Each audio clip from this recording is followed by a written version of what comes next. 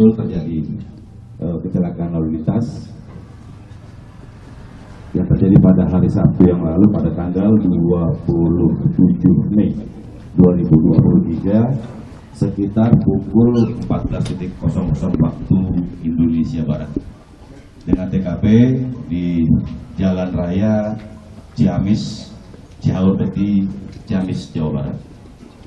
Dapat kami sampaikan bahwa kecelakaan ini melibatkan dua kendaraan bermotor roda dua yaitu kendaraan motor Yamaha Aerox dengan nopol D5101ZDN dengan satu buah kendaraan roda dua jenis Piaggio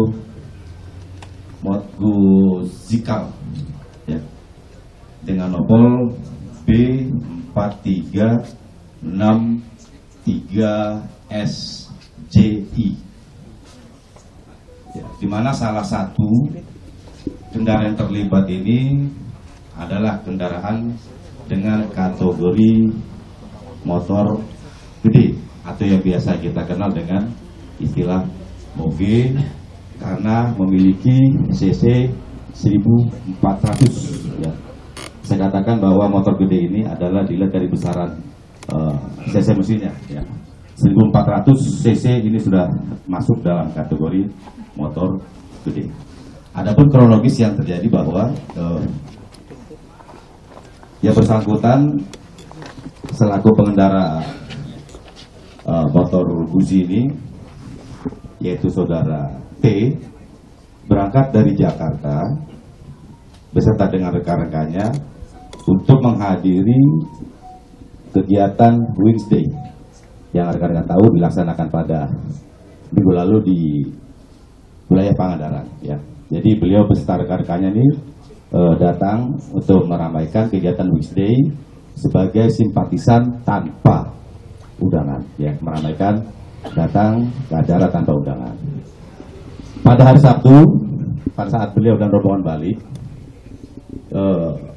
tiba di TKP kendaraan yang bersangkutan ini mencoba untuk mendahului kendaraan Yamaha Aerox tadi dari sebelah kanan.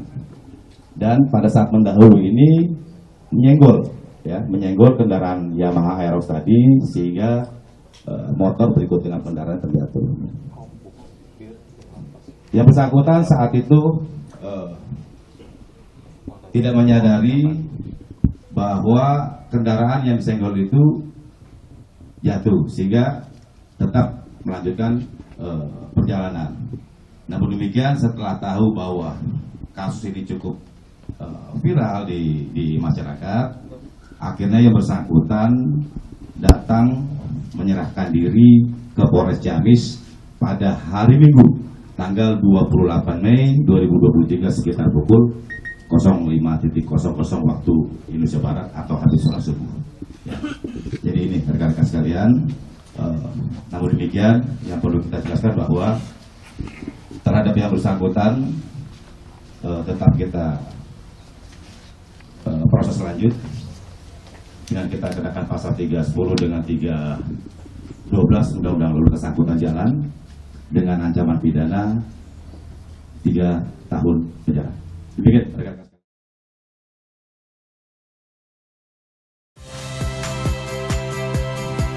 Saya Cynthia Rompas.